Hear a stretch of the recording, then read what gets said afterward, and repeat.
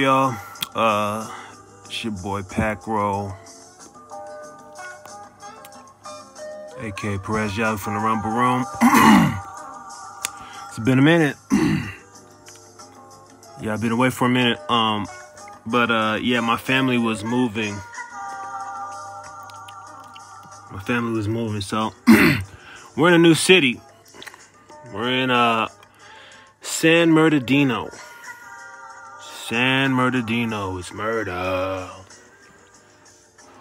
San Bernardino.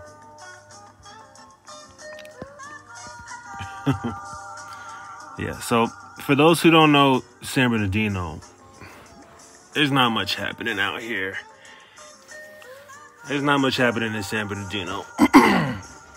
San Bernardino is mountains. It's like if you take if you take an any any neighborhood out of like South Los Angeles and you put it in the middle of a field with some mountains in the background, that's San Bernardino. And it's it's very confusing. It's like San, Bernardino, San Bernardino's could be kind of deceptive because there's all this beautiful backdrop. And all this beautiful like scenery like above like tree level. And then beneath it it's like a bunch of drug addicts and drug dealers. It's sad but it's, it's kind of it's it's kind of confusing that way. It's kind of it's kind of uh I don't know. It's it's it's it's weird. San Bernardino's weird. It's beautiful. It's got like two sides to it. Cuz like you have you have these you have these mountains in the, you know, you have these blue blue skies. You know, California blue skies kind of a standard. You got the you got the sun. You know, warm weather palm trees, you know, is, is standard for, for California. Palm trees in every neighborhood. You got the beautiful mountain backdrop. But then as your eyes descend to street level, you see the meth addict lurching about 10 yards down the street.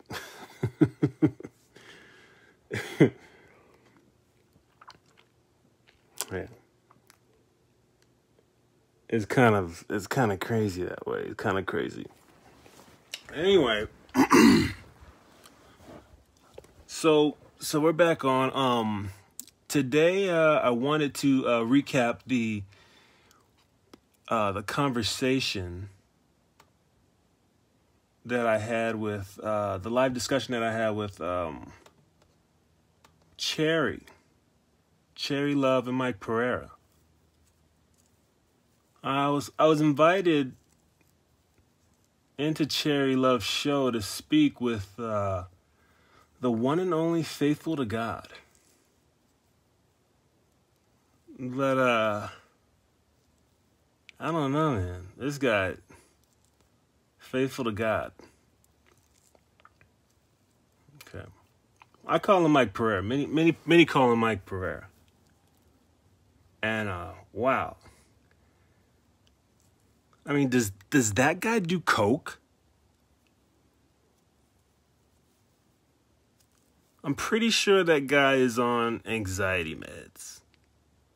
I mean, if you guys heard the the the recap and the way he banters on in angst like a fretting adolescent girl who's misplaced her lip gloss.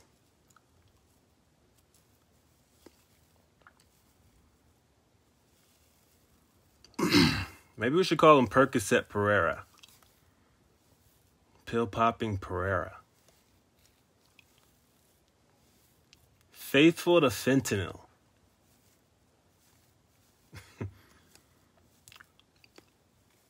or maybe just Cocaine Mike. He's Cocaine Mike on Fridays and Saturdays. I can hardly get a word in edgewise.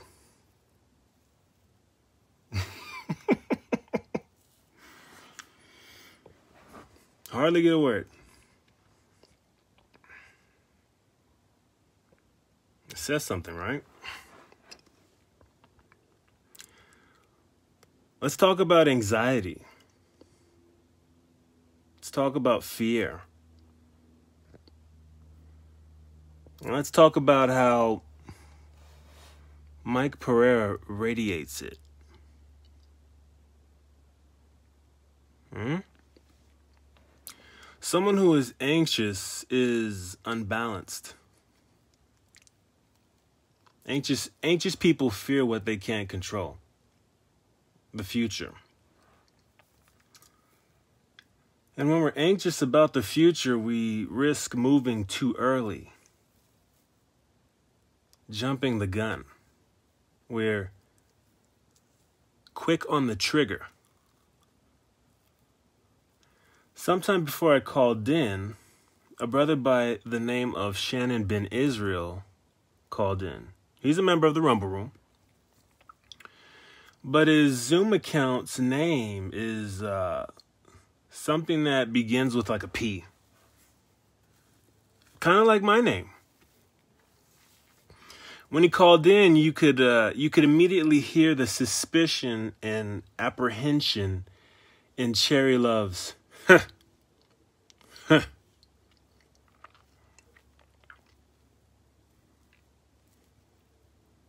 And it didn't make sense until about halfway through their conversation at the uh, two hour, 22 minute, and 50, 50 second mark to be exact. Mike Pereira asks, Is this Pat by any chance? Hesitating, probably due to confusion from the uh, the random question, Brother Shannon hesitantly responds, No. And why wouldn't he? why wouldn't he be confused? Could you imagine calling in to a show anticipating a sensible conversation and being shouted down all throughout the dialogue? And then to, I mean, just to endure all of that Go see it yourself. All throughout the interview, they shouted him down, talked over. And then to mistake to be mistaken for another person.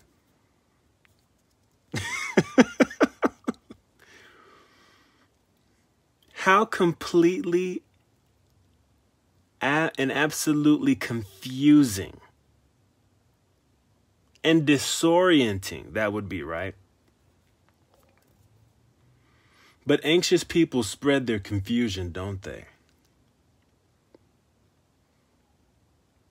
In an attempt to justify his inquiry, Pereira divulges, because you sound like him. Because you sound like him. Now, I don't know if it arrived to Mike Pereira, the creep factor of being able to recognize the voice of a man who he, up until now, deliberately avoids on comment boards. The One who he's kicked out of a group that he moderates, Vocab's group.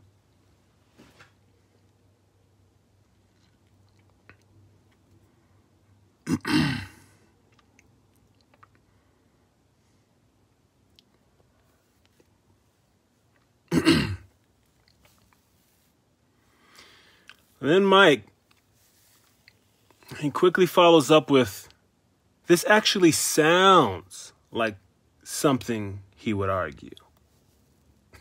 From because you sound like him to uh, this actually sounds like something he would argue.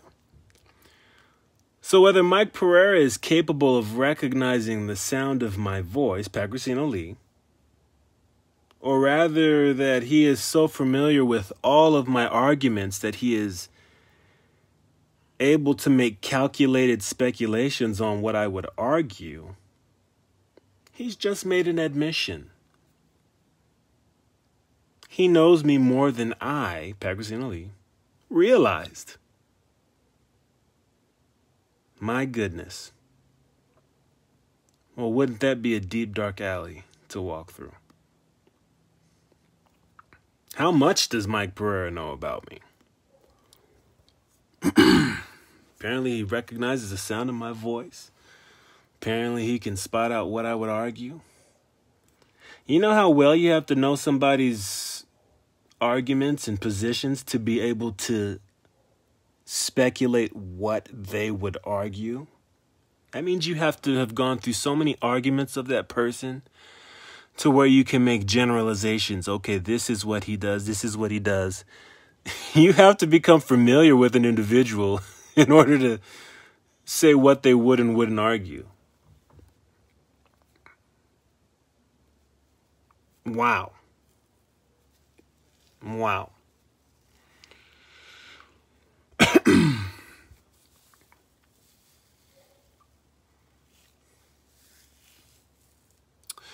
I'm just going to move on from that.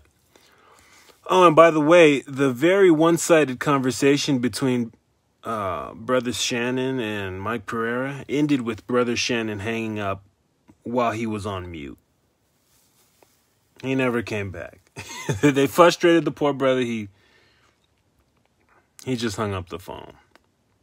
And how do we know this? He he came onto he was on the Rumble Room platform talking about it. Cuz while he was talking with them, they were trying to they were top they were talking trying to get hold of me on the on the comment boards to uh to call into the show.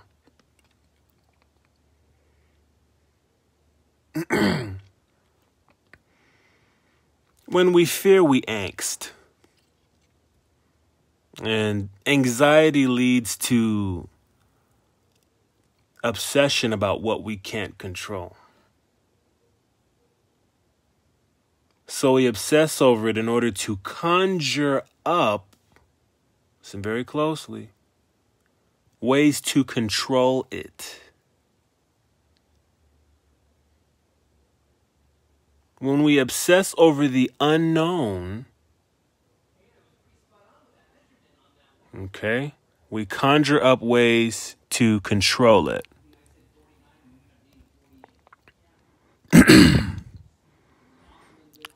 And when we leak our anxiety, we jitter because we are restless and say wrong things at the wrong time. Isn't that right? One second. One second.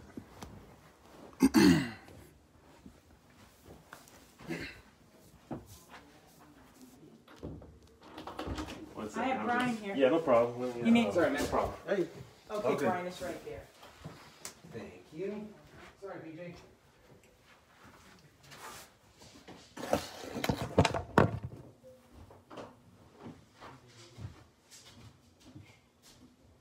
Sorry to interrupt you. Just gonna be a second. You got it, BJ.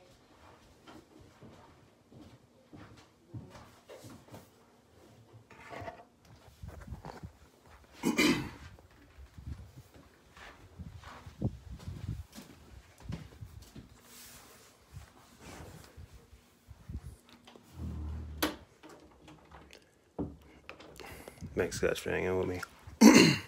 An unexpected entrance.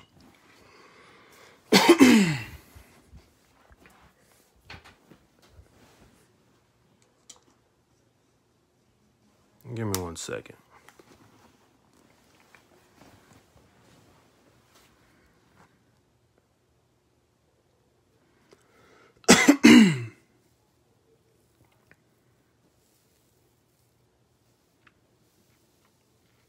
So,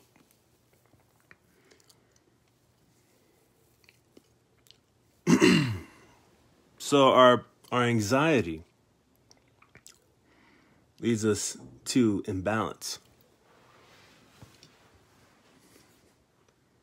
Okay? And when we're not balanced, we jitter. we exude an arrhythmia or lack of rhythm, a, a disharmony. When someone has a uh, when someone has a heartbeat arrhythmia, their heart beats. It's out of rhythm. It's not harmonious.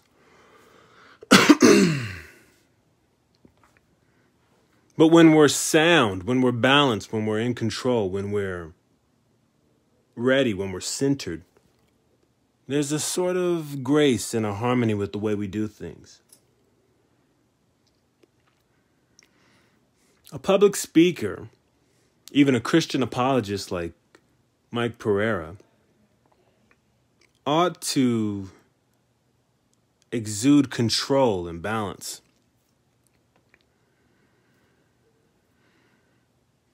But what do we hear during our interaction? Jittery cadence, unnecessary carrying on after asking a question. You would ask me a question and you know, throw two, three more to- thoughts on top of it. You know, he did it to Shannon too. You know, it's like by the by the time he's finished, we're wondering, you know, what the question was. It's like, can you can you repeat that question? just, I don't remember what you asked because you threw three more thoughts on top of it. What else? An obsession with constantly filling as much of the airway with his voice as possible, even to the point of sacrificing grace. It's like he, you know, people like that can't get enough voice time in. Anxious people have to talk. There was a uh, a trainer. He's still around. Uh, one of my one of Mike Tyson's uh, boxing trainers, Teddy Atlas, real famous. He says to Mike Tyson, "When you're tense, you move," and and I think he he gave this advice to him uh, as a way to sort of help cope with like the uh, stress before a fight. He said, "Motion releases tension. When you're tense, you move." And it's just a natural thing that we do. When we're tense, we move. Because moving helps relieve tension. Right? Moving moving helps relieve tension. and and so it could be it could serve to be therapeutic, but at the same time from the outside looking in, I can tell who's nervous by how much they move, by how much they jitter.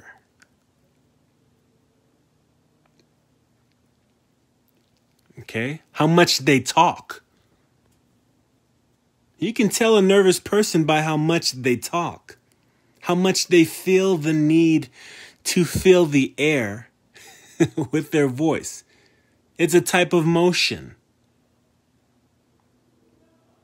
You're moving in your thoughts. You're expressing thoughts, movement. It help it feels therapeutic. It feels good when you're nervous to talk. Some people just can't help it. And so you can tell when somebody's losing a degree of control. And so look at let's look at the flip side of that. You can tell who's in control by how still they are, by how at peace and centered they are. That's a type of behavior I would expect from a Christian apologist. If you're um, constantly competing, your ideas are competing with others, people are challenging you, you're challenging other people, it's emotionally and psychologically challenged, challenging. And so every Christian apologist, every every public speaker, speaker's challenge is to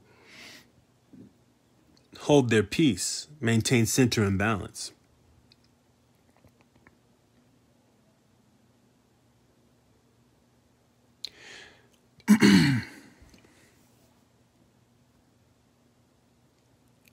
incessant talking, incessant speaking, constantly feeling the need to share your anxiety with the world.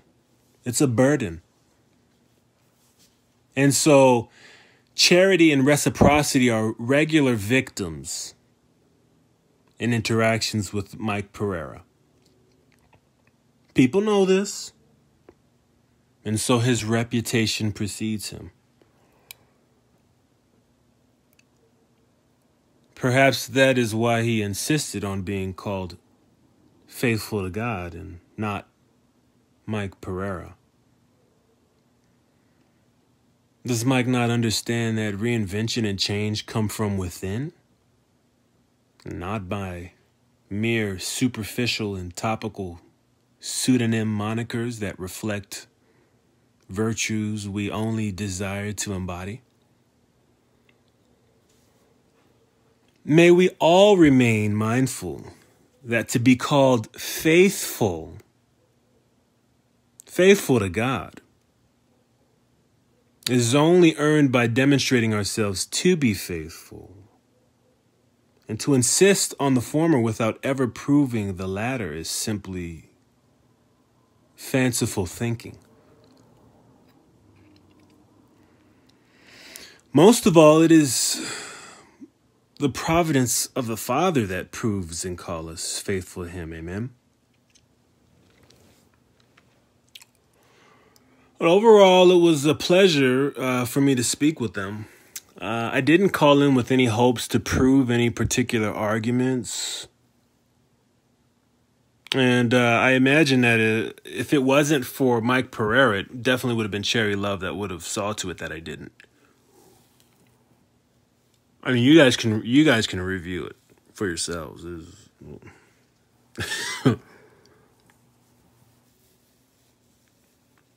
so I I came on basically to shoot the shoot the shit and ride the wave, and then I found myself in the hot seat.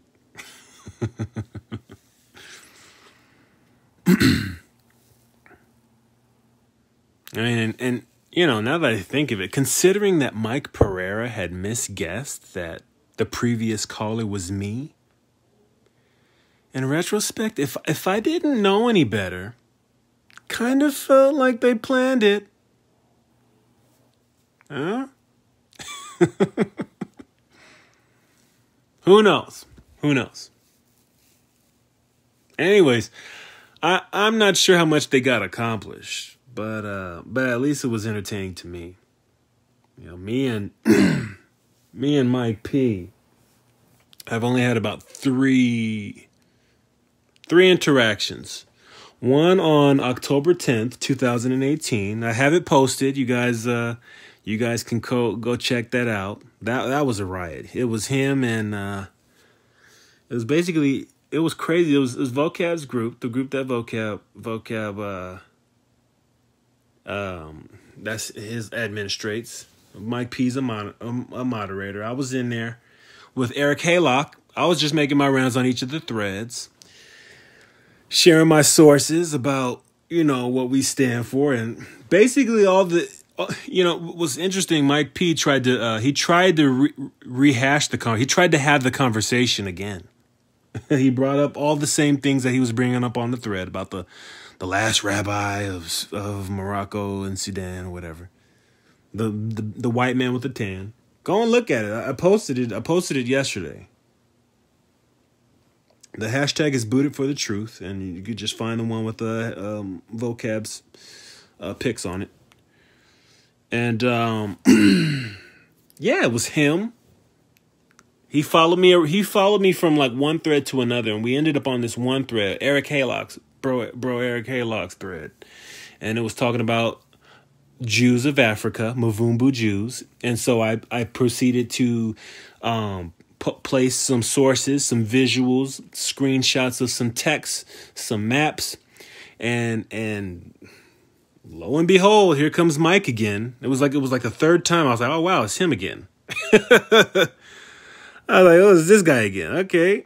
Yeah, yeah. but I knew he was trouble because I, I peeped I peeped this whole like I was like, who is this guy? So I, I knew he was the, a moderator, so I knew I had to sort of move around him.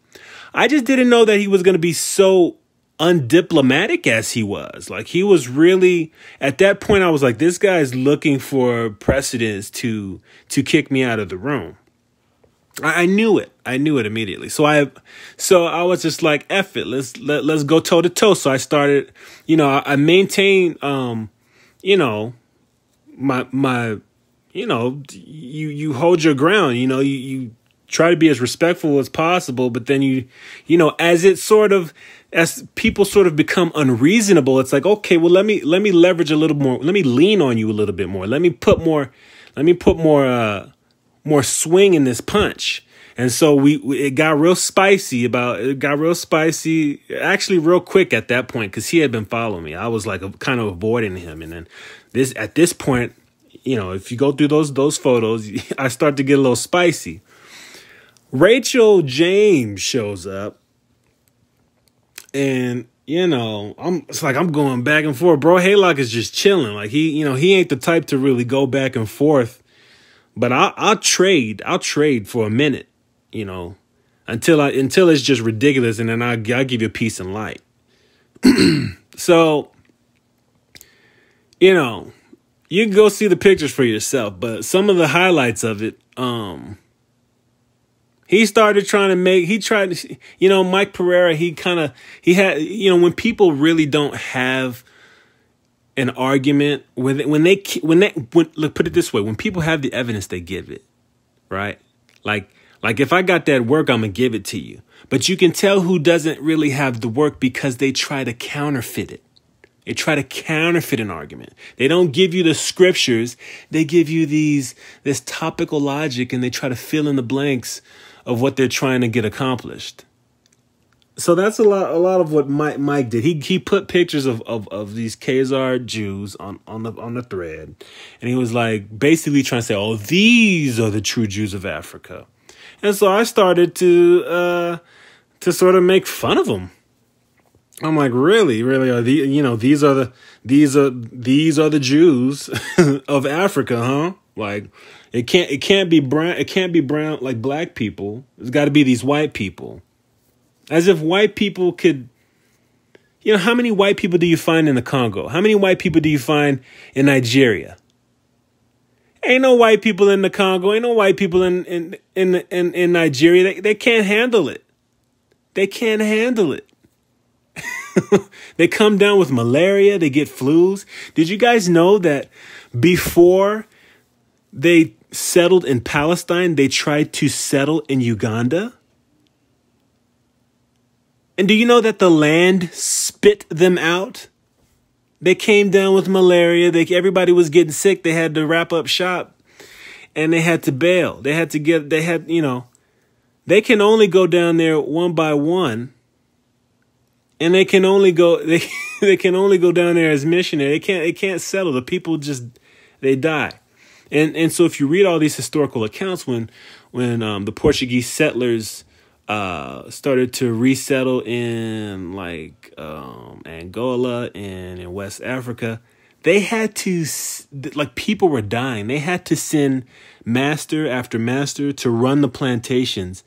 And and the language that's used in John Ogilby's description of the of the Americas was that they had to condition, they had to con- become conditioned to the environment. White people don't do well in humid, hot environments with lots of sun. They burn. They they steam like vegetables.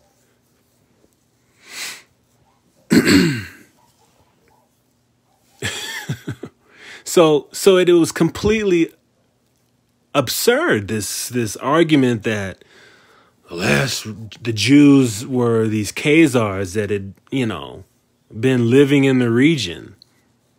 Are you kidding me? So I made a mockery of them all the way through.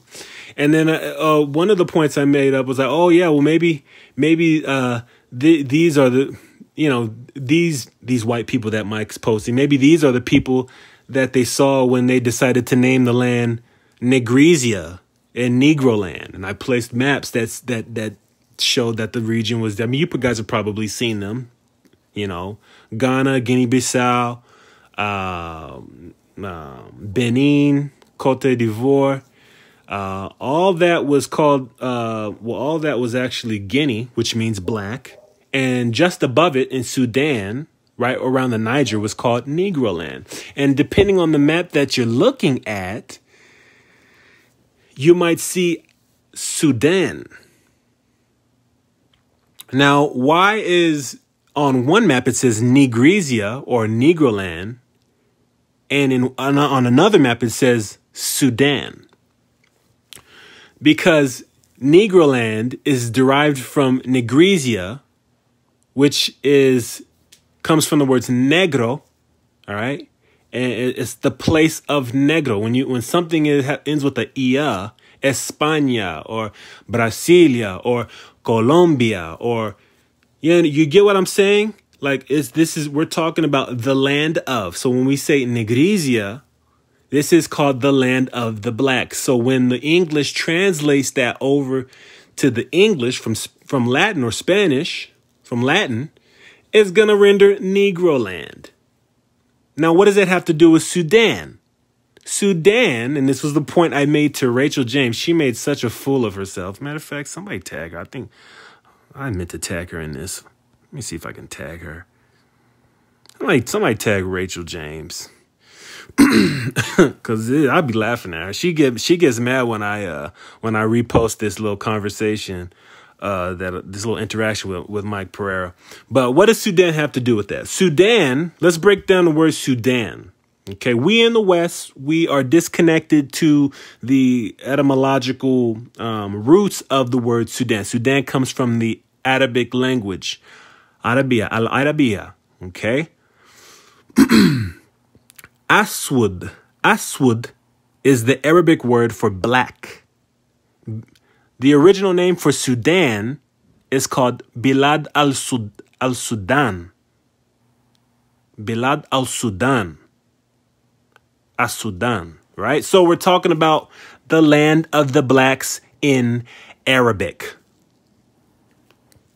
Do you know the fight that Rachel James put up? I mean, these guys, they were like, if you don't prove this, you know, what was what was up there? I had the um that one clip where it says tis a vulgar error that tis, tis a vulgar error that not all the Jews were black, that some were um, and basically it says some were not as black, Some were only the Portuguese Jews were black, were jet black. They were like implying that they were jet black, and that the other Jews in the region were like a lighter black, like brown. okay, that was one, and then so so we had Mike arguing mike and rachel uh, like they were just drilling me with these questions and like read look at the clips for yourself you guys got a tab up open that tab, open, and, you know, we can go through it together. And then so at and at the same time, these questions are coming one after after the next.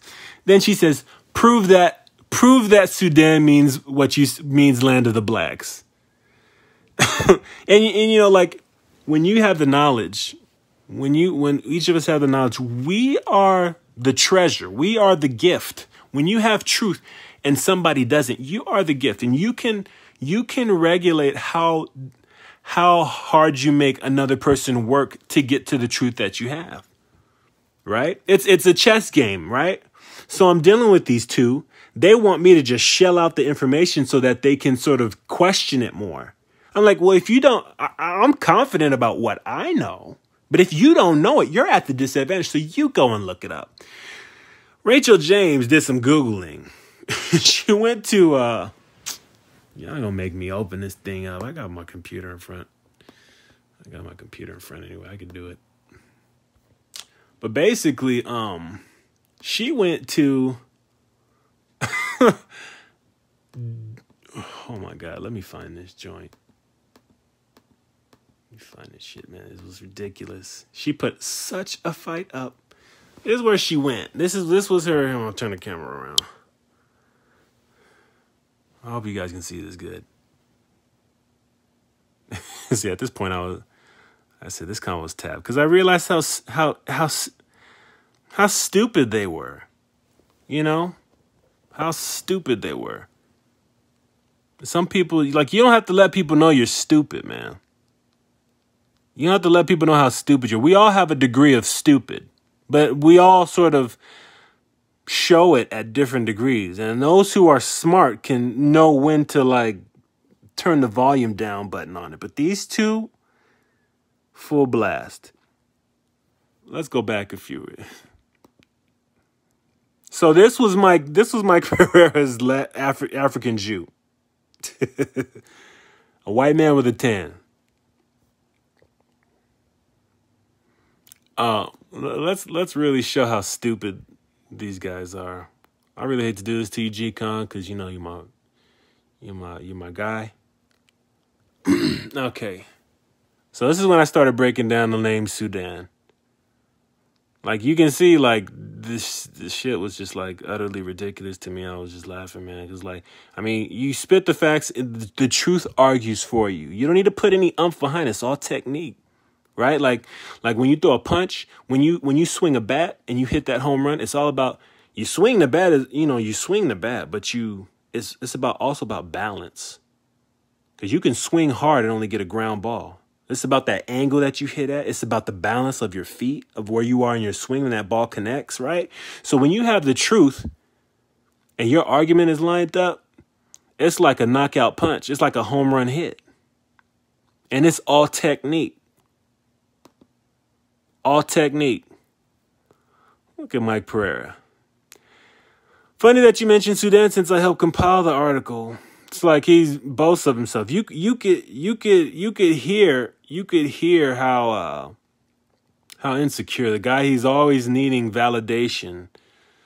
You know, in the in the in the in the uh, in the discussion with in, on Cherry Love's channel yesterday, he asked me questions about my ancestors and being able to uh, trace my ancestors. And then I would tell him, and he'd be like, "Oh, well, my my people too." Like, okay, well, what they got to do with me, man? Like, anyway. so Rachel's busy arguing with me. So the, the clip says, "Tis a vulgar er, vulgar error that all Jews are black." So she miss she she repeated the sentence like it said something different. like I had it wrong. Pakistani, it literally says tis a vulgar error to say that Jews are all black. I don't know what she she wasn't very clear about about what she uh what she um what point she was trying to make. So those are my responses. What does the rest of it say, Rachel? She didn't read it all. She's looking for the first thing to shut it down. all right.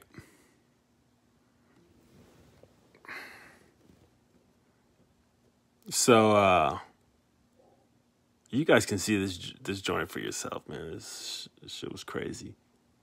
So Rachel asks, "Show me a source. Show me your source that says Sudan means that means black. Land of the blacks."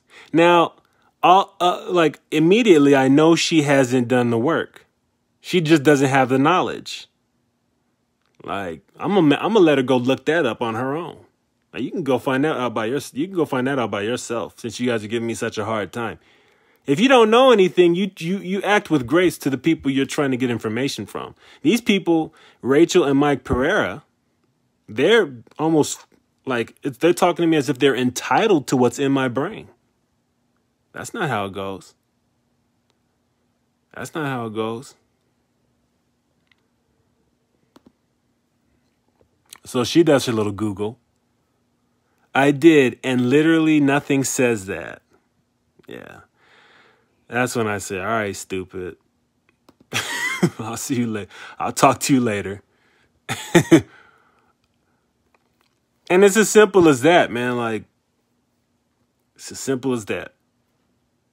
Like, you don't have to, like, don't waste time with people who, like, these people don't want to know like and and and they're and like the whole the disrespect the like the the ingraciousness of, of these people like it really you it, it's telling it's telling. You can really sort of do the math work and say, okay, how much time is this really worth? What really are the intentions? Is this beneficial? Is is it beneficial for me to sow my seeds here on this ground?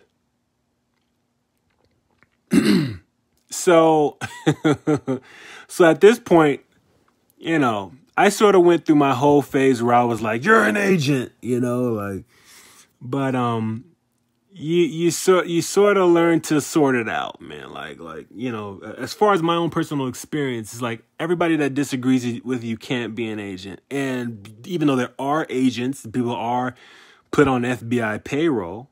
I can val I can I can personally I personally know that because as a teacher, I received emails from the FBI, this position, that position, and it was like, you know, they, they it was like curriculum design for the FBI, you know, consult education consult for the FBI. I'm like, what does that have to do with the FBI? So P, so they they cater, you know, thing positions to bring you in and and and, and you know get you to work for the FBI. So it's a reality that there are people who work regular, apparently regular jobs, who are on FBI payroll. and so apparently this struck a this struck a chord with with with Mike Pereira. You know, because uh he said he found he found what he needed. He said, "I'm an agent, huh? Now you done messed up, right? We have a rule about proving claims in this group, and you made a positive one. So, because I didn't prove that he was an agent, he kicked me out of the group." and here's Alfredo Valentin toeing the line this is why I go so hard on Alfredo Valentin. This is why I go so hard. I don't I don't spare the rod for Alfredo Valentin. Mr. Toe the line. All right. Mike Pereira and Alfredo Valentin. You know, you guys remember that book? Uh, guys remember that book uh, of Mice and Men? George and Lenny. Mike Pereira and Alfredo Valentina, the George and Lenny of Facebook. Hey, George. Hey, George. Where are we going today, George? Anyway. All right, um so those are my thoughts on the uh on the uh live discussion last night with Mike Pereira, Faithful to God, uh, and Cherry Love. Um, you guys can watch it when you get a chance, so you're up to speed on, on, on what I'm talking about. Feel free to run through this little post here. It's comedy, comedy. Um, but um, but I guess that's that, man. Um, y'all have a blessed afternoon. Uh, maybe I'll get on tomorrow in the, in the next couple days. Um, but I hope you guys have a blessed evening and um and peace, light, and shalom.